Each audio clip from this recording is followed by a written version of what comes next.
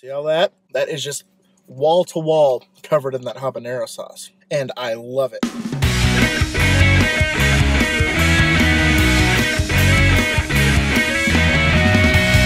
What's going on, my little piglets? It's your BFF Pork Chop here, and I'm coming at you with another food review. Back here again at Taco Bell. Can't get enough of this place. But I am here at the Taco Bell on 45th and Bell to give the cheesy habanero quesarito a try. And I went ahead and got it in the $5 box because how else do you get the cheesy habanero quesarito? The $5 box comes with, let me check this, my receipt. It comes with the quesarito, as well as a crunchy taco, a Doritos Locos taco, a large drink, which Texas style. And then I went ahead and ordered a cheesy nacho just for giggles. So yeah, it's not too bad. Let's go ahead and pop out this bad boy though. And I will eat the rest of that later. But before I get started, coming at you live, 3D. Pretty good. So, here it is. The cheesy habanero quesarito. And there we go. Look at that bad boy right there. If it has the taste I think it's going to have, it's going to taste like when they did the uh, Daredevil grillers. I think ex that's exactly what it's going to taste like. So without further ado, little part of it already leaked out. Let's go. Mmm. Oh, wow. Mmm. The kick is real. Look at that inside. All that orange stuff, that's the habanero. That sauce is on point. See all that?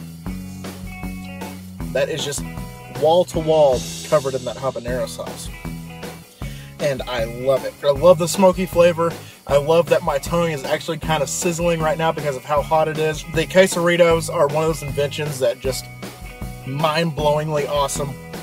And they added another notch to the awesomeness belt by adding this to the menu. With the name like Cheesy Habanero, it is cheesy and it's packed with habanero. So the advertisement as is. Without further ado, one thing I like about it, one thing I dislike about it. One thing that I like about it is you get what you pay for. It is what it is. It's fantastic. It's cheesy. It's full of habanero sauce. It's just overall just a great texture. The consistency is fantastic. One thing that I don't like about it though is, like I always say, it's not going to be forever. I have a feeling that they're going to have this and they're going to take it away. Because I was a big fan of the loaded grillers and they got rid of them after a month or two. And I think this is exactly what's going to happen to this thing. I'm sorry about your fate. Taco Bell doesn't love you as much as I do. So, on a scale of 1 to 10 piglets, I'm going to have to give the cheesy habanero quesarito from Taco Bell, giving this a 9 out of 10. The only thing that it's docked for is that it's going to be there for a limited time. If this were on the menu full time, Pork Chop's kick-ass seal of approval, just like the Dorito Gordita Crunch. It's exactly how I feel about this. So guys, what is your rating? Let me know down below. And if you're not a piglet and you'd like to become a piglet, you can hit that subscribe button right there to become a piglet to stay in touch with my videos. And also down below this video, the subscribe button, there is the notification button. You click that notification button, you get notified every time I upload a video. Whether it be a food review, a gameplay video, Chris and I's pick'em, a vlog, you guys will be informed and you'll get a notification saying, hey, Pork Chop did this, hey, Pork Chop did that. It's a win-win. So guys, thank y'all so much once again for dropping by. And always remember my little piglets, Kollin Pork Chop.